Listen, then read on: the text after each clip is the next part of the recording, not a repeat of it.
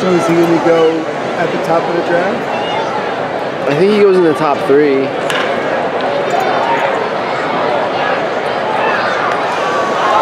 Sounds like. Um,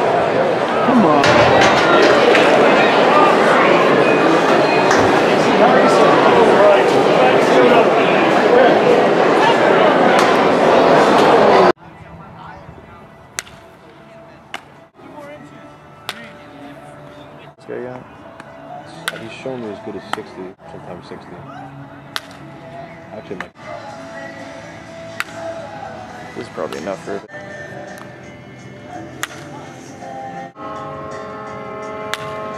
Surprising. yeah.